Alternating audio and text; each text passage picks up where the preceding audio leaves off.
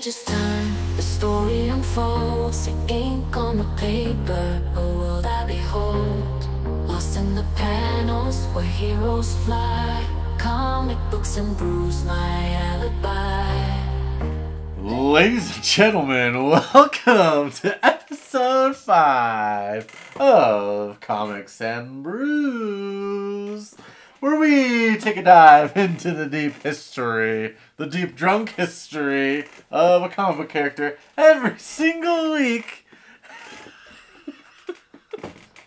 and we warmed up pretty good today. Uh, just Abby was about to fall asleep about 20 minutes ago. Yes, I But we loaded her up with another couple bevies. Uh, one to be named, uh, what's it called? Codename Holiday? It was the one we just Oh. warmed up with. Yeah, that's the one. Yep, that one. Uh, by Odd 13 Brewing. It's like nine percent. yeah, 9.8%. um, no shame, this peasant went to Bevy's and found it on sale for $7 for a four pack. Hey, it great. And So yippee we had three of them and sweet berry wine. They are delicious. Triple hazy IPA.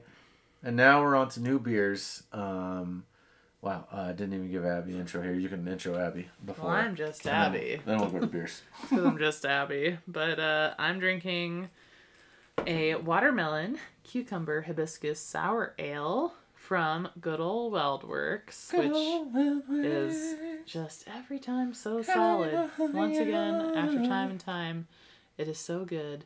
Uh, with watermelon and cucumber juice and hibiscus flowers.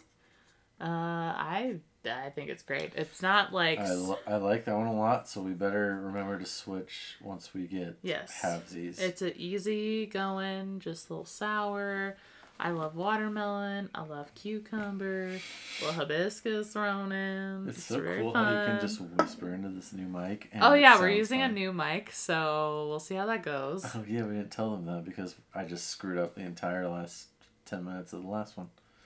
Yeah, Yeah, so I when my pipes get a little too loud, I'm whispering. it's right gonna now. be like. tip of the tongue, the teeth, the lips. But yeah, my my giggles might erupt this mic, so I'm really find sorry if that happens. But um, I don't know what to tell you there. Uh, that'll be an editing nightmare later because I've been trying to avoid editing the audio as much as possible. But surprise, it's happening. Um, my beer, my beer. I have the Orange Whip Milkshake IPA from Over Yonder Brewing. Where's that from? This is from Colfax Avenue. It's Golden, Colorado. Oh, I, didn't know that. Did not Really? know that either. Huh? Over yonder. Oh, I, Oh, I I, recognize have heard this this. logo. I've heard that. Yeah, I've heard of it. I've always wanted to go. I just never have. Yeah, Golden's a little bit far, but not that far. Wow, but really? wow, it's on like, Colfax. It's like literally like thirty minutes. Not even. well, shit. But it's it's delightful. It, it This is- pretty this good. is Yeah. Quite quite quite glorious. Mm. So yeah, that's our that's our beers of the episode. Um, Colorado beers. Oh yeah, episode. both of us again. Colorado Yeah, beers. it's We just can't venture out apparently. Where's this odd thirteen from? Uh, Let's see if it says Colorado. I'm gonna fuck it. Oh, Denver, Colorado. Seriously? Oh my god. Well, just make some solid beers. I to guess. all you beer know. nerds out there, you must come to the Mecca, and then you all can come over here and film, or Mhm. not film. We're not trying to show our faces. Record an episode of Comics and Brews because apparently Colorado is thy Mecca of beverages, or it's just. Yeah, We're it's like that, and then randomly like Fargo, North Dakota for, or I guess no, Minnesota. Is it Fargo, Minnesota? Oh, Drekker? No, it's like North Dakota. So Fargo though, Yeah, which is is like that North Dakota? I don't know because it's like on I the swear border. it's a Dakota. I think it's technically North Dakota. I don't know. It's like on the But border that, though. that's my number one brewery anyway. that I must go to. I if I go to Drekker, I'm I might pass away in excitement. Well, we should do that. And I also don't know how to keep those taps clear because sweet berry wine, those chunky, chunky smoothies. Holy Moses. We had one of those today. That was very good. yeah, we had two of them. Oh yeah, two of them actually. Yeah. Yeah, What was oh we had we had- small. the small. I got the four pack of the small, and it oh, Those were oh, very my, good. Oh my goodness, they small but they delicious. yeah. But But anyway, yeah. Anyway, sorry, that was a long beer tangent. But again, this is the drunk history of a comic book character. Every single week, and today we got a random one. We actually literally decided this this morning as we talked characters through. And once I said this one, Abby kind of shat her pants in excitement. Well, so we like recorded Dazzler this week. Wasn't it on Monday or Tuesday? Oh yeah, we did it late, huh? We did it late because we were so busy this weekend. and We went camping, um, so we didn't have the time to do it like we usually do. Um, oh yeah, we did it like Tuesday. and we're going to Ren Fair, Den- or I guess Colorado's, Denver. I don't know. Larkspur. Yeah, in uh, Larkspur, Colorado. We're going to the Renaissance Fair tomorrow. So I was like, oh, we should do something kind of Renaissance Fair themed. And so we were going through his character book, and yeah, Merlin was the one. I Whoa, whoa! You didn't say it yet. You're just oh, Merlin was. You already saw it. No, I didn't. I didn't say it. Oh. So, ladies and gentlemen, this is the drunk history. I thought you already said it. Merlin. Shoot. Because yeah, we're going to Renaissance Fair tomorrow. We're gonna dress up like a bunch of dinguses, and wow, I wish I could have a wizard sleeve on tomorrow because we're getting our Merlin on tonight. so, without further ado, welcome to Comics and Brews, episode five. This is episode five, five, five, and uh, yeah, drunk history of Merlin. Let's go. Oh, also, yeah, he's a man of many names. I don't know what I'm saying. Sorry. I always forget how to intro myself, but I always forget yeah, how to read. Merlin, also known as Myriad, Mer, Murdan, Mer- and uh, oh wow, my notes are so good, and a bunch of other names. Um, best best known as the sorcerer from Arthurian legends, um, but he also served as a sorcerer supreme. I honestly did not know that until I was today years old because Sweet Barry Ryan, Oh my god, we're gonna be struggling. It's those nine percenters. I mean, Doctor Strange, obviously Loki, my favorite sorcerer supreme. But did I? I mean, I should have known Merlin. Obviously, he's the OG. Kind of makes sense, but yeah, played a huge role in the M. I guess it's not the cinematic; it's the MU, the Marvel Universe, and um, yeah, his first appearance. November 1943 and Oh, Young wow, Allies wow. number 11. That's a wee bit old. I wasn't even close to the womb. Almost 60 years out of the womb. But yeah, he's old. Merlin. What a guy. So yeah, pretty freaking old. I think we established that. Um, so Merlin's also a pretty complex character with abilities and history that are as twisted and mystical as you'd expect from a Oh, legendary spicy. sorcerer. Uh, so I guess Sorcerer Supreme. uh, for starters, so he's super smart, uh, and he's self-taught in mystical lore. wow, I think which Doctor is- Strange DIY'd it too.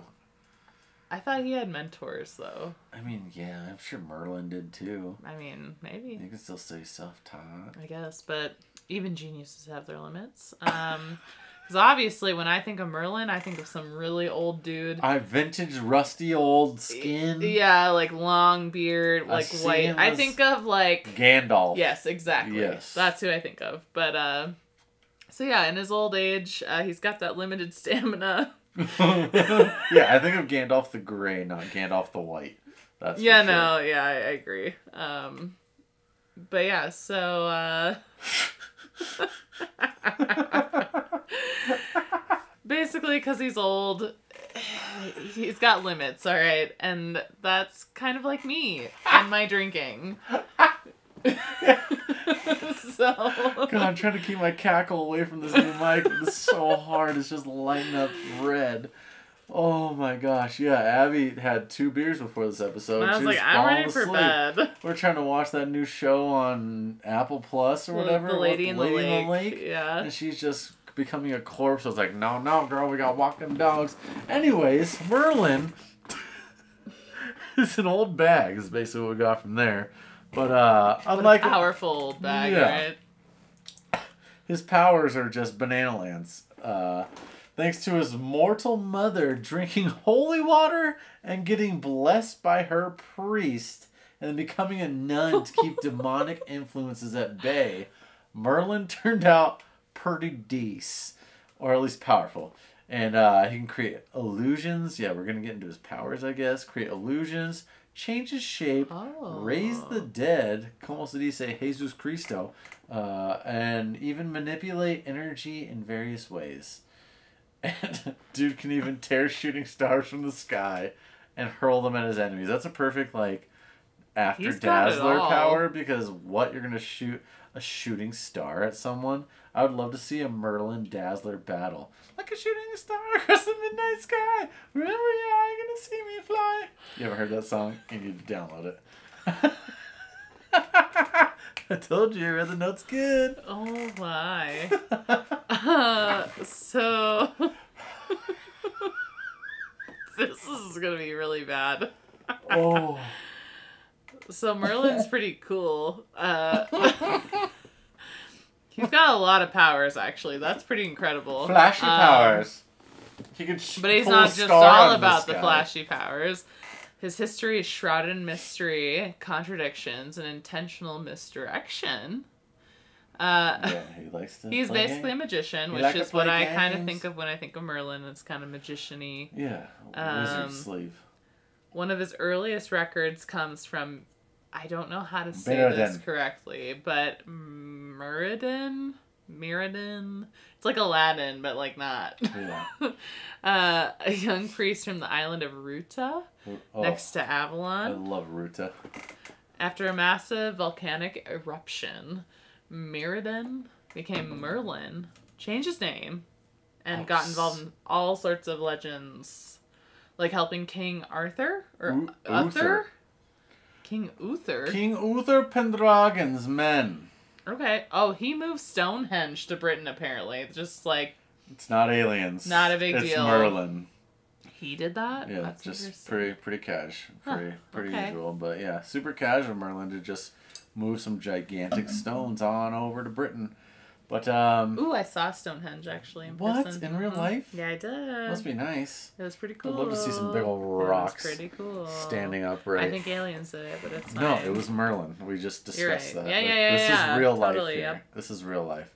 Um, but yeah, then there's his, his involvement in Arthurian legends, where he met he. Oh my Oh. god, oh man! Taz well, cut off. that was my moment where my orange whip is halfway, and she slammed the whole watermelon hibiscus. we were we were gonna split it, so we're like, this happened ooh, last episode where I forgot I to drink the whole thing. Hmm. Sorry. Oh well, that's like dessert. But yeah, he gets involved and he man- manipulated events to make sure Arthur became king. And oh, here we go. Even embedding Excalibur in stone, classic. Y'all been in Disneyland, and declaring that only the rightful king could pull it out. How bizarre! How bizarre! Everyone knows the story. Did you ever watch Sword in the Stone? I did when I was like two you were months little. old. I like. I know. I'm like. I came I out the womb and was remember like, oh, having it on VHS. hmm I just. I don't personally remember the whole thing. I don't remember any of that. I just Yeah. know that that was a thing. This is like a thing that's always Yeah. been. hmm And I'm pretty sure at Disneyland, like they would let someone pull Well, it's like sword a out huge sometimes thing at like Dis- you win for something. Disney. Yeah. Um, but yeah, and then Merlin apparently. Wow, I don't know how I didn't know this because I read the recent Knights of X book, and um, yeah, let's not forget his romance with Morgan Le Fay, which ended in a six-day magical battle. Love hurts, especially when it's between two sorcerers, only one supreme. So I wonder how that went. And his powers don't stop there. he can time travel too. I'm not surprised. He's Merlin. You're right. You're right. Oh, Gandalf You're couldn't right. travel through time, and also Yeah. Merlin's way more cool. Uh, he He, he can cast perfect illusion spells and Oh. even seal beings with enchanted amulets. oh, what? Yeah. Oh, within them? Wow, you can put literally like I could put That's- a just Abby inside of seal like being. Oh a B yeah. plug. Yeah. What? Nothing. Excuse Ow! me. He's also created artifacts like the ebony blade. Ebony I don't know what that is, but uh oh okay. Grants what? It grants oh, it- it grants its wielder. But only while you're holding it. So only while you're holding the ebony blade, you can be immortal. Like, what if you just like lay down and go to don't bed? You're not immortal anymore. I don't know. Wow, we're gonna have to do some research on the ebony Uh, blade. But despite all his powers, he does have some limits. Uh, like when he and Brendan. Brendan, Who's Brendan? Brendan. Okay. Couldn't destroy the Darkhold's power. Oh, the Darkhold. Is Even the mighty. Merlin has to team up sometimes. Exactly. And speaking of teams, Merlin founded the Captain Britain Corps, a group of superheroes safeguarding the Omniverse. So, if you read the recent X books, I, I guess that was like, dang, that was like 2022 by now, where they had the big battle of swords or whatever. That's where it came back, kind of. Uh, but he's been manipulating events and heroes for centuries. Always working behind the scenes, um, but his story doesn't end there because he's faced foes like Mad Jim Jaspers. Not gonna lie, I have no idea who the shit that is. And the I mean, Fury. comics are really old, so I, I feel mean, like if it was Nick know. Fury, I'd know, but maybe Who's the, the Fury, is like his great great great great great great grandsister. but um, he faked his death and death death, and even manipulated his own daughter Roma to form. Excalibur. uh, so he's always planning. He's always scheming. Guys on schedule. Even when reality was warped during the House of M event, which I don't really know. Uh, that's that a is. that's a series I didn't read, which I honestly really wish I did Okay. because I heard it's really good. Uh, Merlin was scheming in the shadows. Oh. And let's not forget his involvement in the Secret Invasion, man. Where he reached out to Peter Wisdom for help. Oh. And Merlin's story is as endless as his magical abilities. Oh, well, this is where I am more versed because this takes us into the witch breed, where it's a lot of it's a lot of Betsy and Jamie Braddock. Jamie gets pretty dicked in this though, because if I remember right, because yeah, um, we'll get into that. But when Avalon Avalon came under the rule of Jamie Braddock and Betsy Braddock was named Captain Britain. Whoa, I'm gonna reread that again because that sounded all wrong. Betsy was named Captain Britain, Captain Britain, and Merlin Mer. Oh, Oh my, my. Gandhi! Merlin began scheming against the presence of the mutants in Otherworld. Let's get. This is when it gets crazy because all the X books are kind of combining here. New Mutants is involved. The Marauders.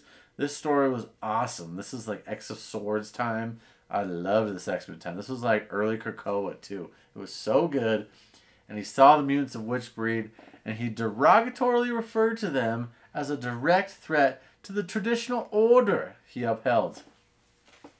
Exactly. Oh! Don't yell at me.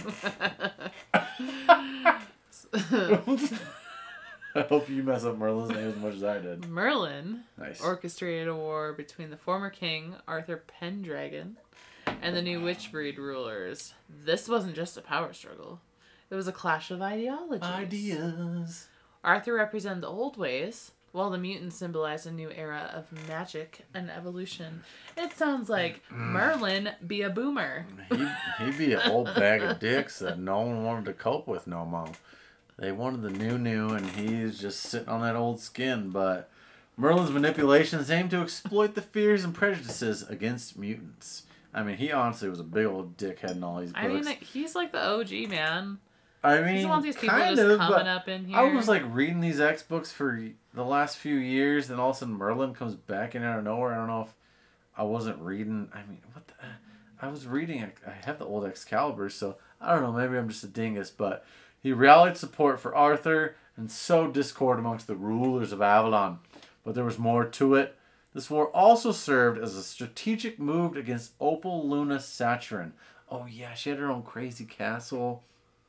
Man, I she was kind of crazy too. I didn't this whole if if you haven't read the X of Swords, like all the books that connect into this, it's pretty banana lands because almost every X book tied in and it was pretty nuts because they basically battle and if you die you're like actually dead. Like they uh the mutants obviously had not obviously, but they have like the hatchery, and they had all their minds uploaded to uh, like a Oh, backup, whoa. basically. So like basically, if you die, they'll Yeah. rehatch you, and you will remember like up to before you died, basic kind of thing. Oh. That's kind of where these books are taking place right now. That's kind of cool. But this was taking place in the X of Swords when uh this battle was basically if you die you're just dead. Like you not you're not come you're not coming back. So oh it's it's getting freaky, it's getting crazy. okay. Um but yeah, as the formal omniversal guardian Merlin Mer God, Merlin is so hard to say. Merlin harbored deep resentment towards Saturn, who currently holds the position. I don't know what I meant by that, but she was basically like the Colossus of Clout, kind of like the king of the castle, but she was the queen. Yeah. Uh, I have a chair. You do this. You do this. La la la la. That was her thing. and I think of like Colossus, the Colossus, the Clout. What do I think of? Sandlot. That's what it is. The yeah. Great I was like, why am I like okay? Yes. That's one of the funny. best I would never have thought of that of all reference. time. That's so funny. All right, so by creating chaos in Avalon and challenging the new order, Merlin sought to undermine Shatrin. Saturn's authority. Saturn's authority Saturn. That's kind of fun to say. Saturn. and reclaim his former status. His actions were a testament to his cunning and long term vision. The war was a means to weaken his enemies and reassert his influence over other world, which I don't know what that is. Um, that the other world is like I don't even know how to explain this right now. It's like some Inception kind of shit. Oh, But because I think that also tied into it because if the mutants went into other world and they, I'm pretty sure, I could be wrong. Tell me if I'm wrong here, people. But if the mutants went into Otherworld and they died there, they also could not be revived. Like it was a weird. Ooh, So it was like a scary time for the X Men and everything because when they're going there, they're basically like going to war, and if they die, like they're just toast.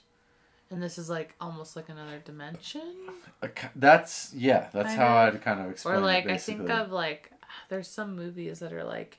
If you dream and you die, you die in real life, Yeah, or it's ba- basically Yeah. like that. Yeah, Okay. and uh, this is I'm pretty sure this is before uh, the mutants took over Mars. Like they literally took over the planet itself. I didn't even know that. Um, so the huh. Arakki. It's like another mutant tribe. I, I don't know if you call it a tribe, but yeah. So if they if they died in another world, they basically are toast. Imagine Wolverine rolling up in there. Oh shit, he's dead. Yeah. Oh, no more Logan. Yeah, right. They'd write that shit back in. But uh, yeah. Uh, Merlin's schemes just added more complexity and political landscape, which no one gives a shit about. I mean, not a lot of people give a shit about politics, but it's just always a nightmare. Um, but that's what was going on in Avalon. He wants power. Saturn wants power. Good old fashioned duel of, yeah, I guess politics, but with alliances and, and enmities constantly shifting in response to its machinations. Oh my god, I read that terribly again. Yeah, you did, but This it's okay. so hard. Taz is feeling it. Whoa. Uh, that second 9 8. Do you feel it, Mr. Krabs? odd 13 Bruin really got me feeling good. But wow, that was, I mean, that, that duel, uh, I, my notes here basically leave it on a cliff. I guess that's just not to spoil it because the X of Swords happens. Merlin and Saturn obviously are getting into it. I don't want to tell you what happens here, but it comes to a tip. It comes to an end. One of them wins. I'll just tell you that. But if you haven't read the 2022 X of Swords, all those books, like this is it gets crazy. And this is like when Krakoa is basically in its prime. Because if you're an X Men right now, you obviously know what happens or happened to Krakoa. I'm honestly still catching up, so I won't tell you that whole spiel. But Merlin has uh, a duel that happens here that you should just read it. You should read it. I don't want to spoil it, so Google it.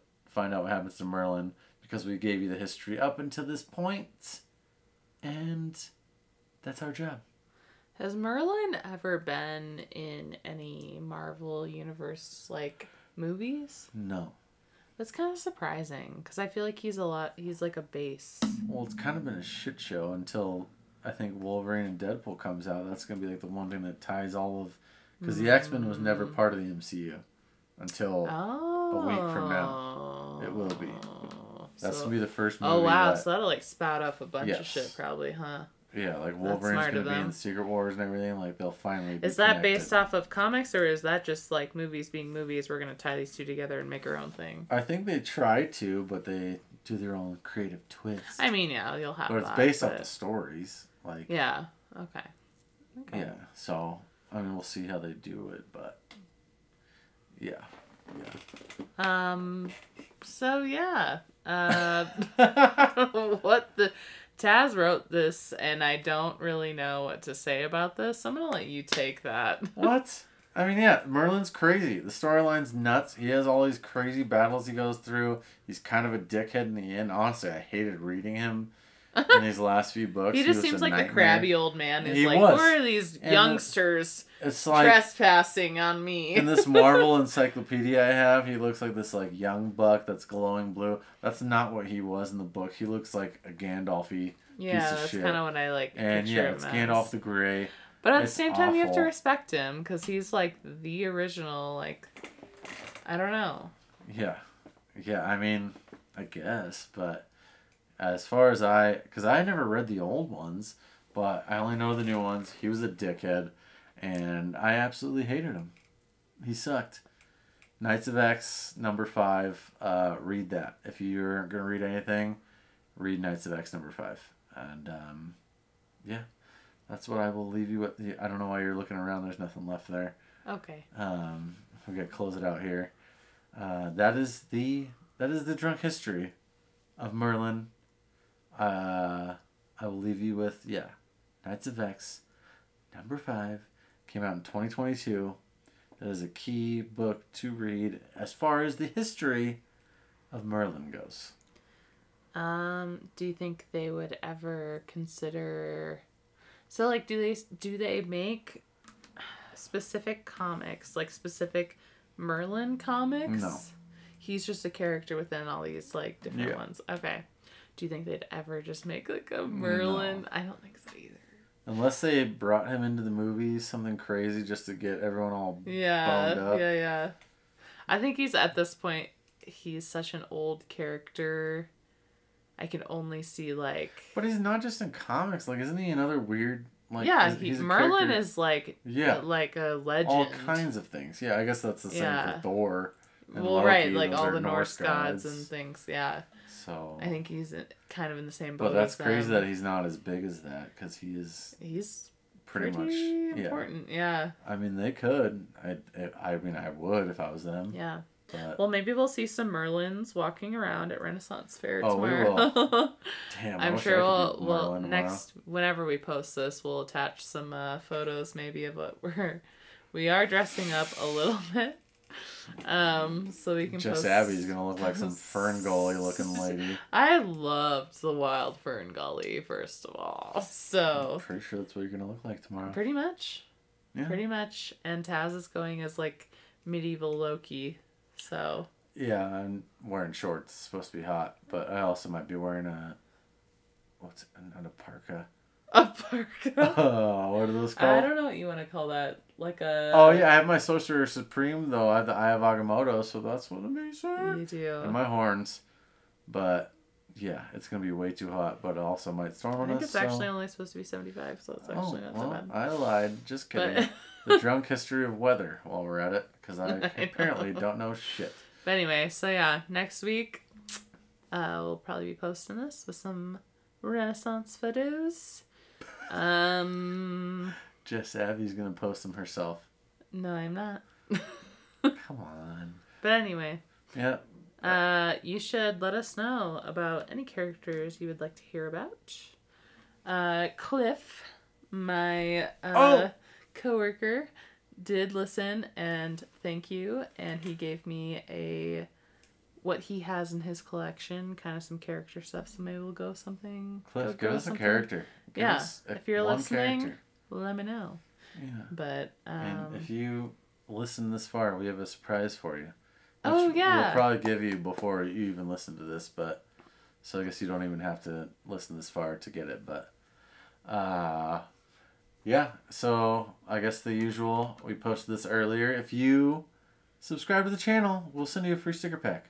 If you're in the U.S., sorry if you're in Europe or Sweden or something crazy. Isn't that? Yeah, probably. I can't do geography right now. I don't know why I'm even throwing these things out there. But if you're in the U.S., you will get a free sticker pack if you subscribe. Um, I'm pretty sure I can do this to the end of 2024, and I don't think we're gonna get a million subscribers. Probably get like four. Weirdly, we got like 15 today, which is pretty neat.